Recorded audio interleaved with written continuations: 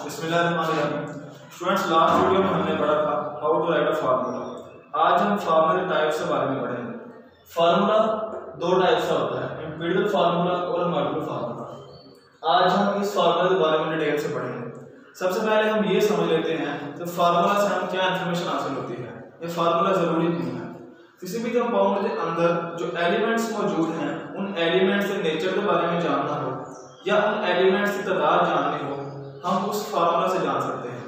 बहुत सारे कंपाउंड का जो नेम है, वो भी उस फार्मूला की मदद से बनाया जाता है। जैसे मिसाल के तौर पर NaCl ये ऐसा कंपाउंड है जिसमें दो एलिमेंट्स मौजूद हैं, यानी हमें उसे एलिमेंट्स के नेचर के बारे में अंदाज़ा हुआ। दूसरा, उन दोनों एलिमेंट्स का जो नंबर है, वो वन रेशो वन की फॉर्म में है तो हमें ये इंफॉर्मेशन मिलती है। और तीसरा, उसका नाम सोडियम क्लोराइड वो भी इस फार्मूला में मौजूद एलिमेंट्स के सिंबल के बेस पर बनाया जाता है। आज हम ये पढ़ेंगे इनबिल्ट फार्मूला क्या होता है और वो उससे हमें क्या इंफॉर्मेशन हासिल होती है। सबसे पहले स्टूडेंट जब हमारे पास अननाउन कंपाउंड आता है और उसका हमने फार्मूला बनाना है उससे डिफरेंट स्टेप्स होते हैं।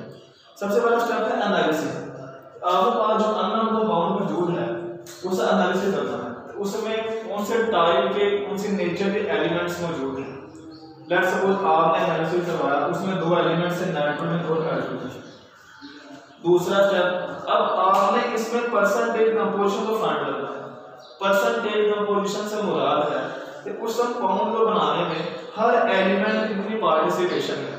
सो लेट्स सपोज़ दो स्टूडेंट्स हैं ए और बी वो दोनों शॉप पर जाते हैं और वहाँ पर जाने के बाद उन्होंने चीज़ खरीदी सौ रुपए उसमें जो ए स्टूडेंट है उसने ट्वेंटी फाइव रुपीज़ पार्टिसिपेट किए और बी ने सेवेंटी फाइव अब इस लिहाज से उस हंड्रेड को बनाने में जो ए की पार्टिसिपेशन है वो ट्वेंटी फाइव है और जो बी की पार्टिसिपेशन है वो सेवेंटी फाइव है. तो इसे हम ट्वेंटी फाइव परसेंट और सेवेंटी फाइव परसेंट मान सकते हैं. अब इस परसेंटेज को हम परसेंटेज कंपोजिशन बोलते हैं. इस परसेंटेज कंपोजिशन से बाद में इनकी रेशियो बनाई जाती है.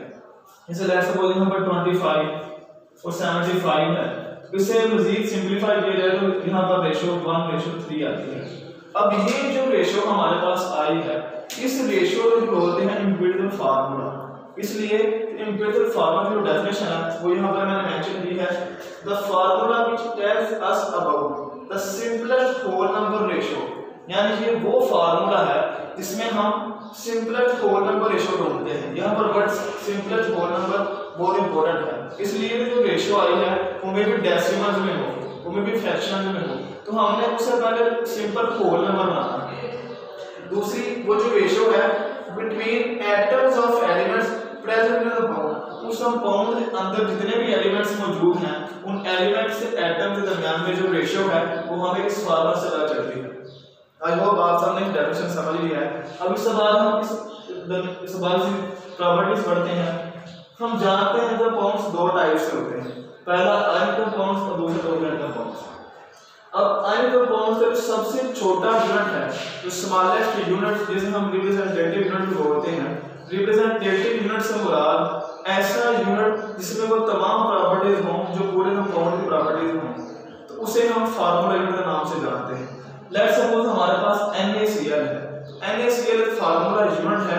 अगर हमने इस कंपाउंड NaCl के बारे में पढ़ना हो तो सिर्फ़ एक सिंपल यूनिट NaCl के बारे में पढ़ते हैं और वही इंफॉर्मेशन पूरे कंपाउंड पर अप्लाई होती है।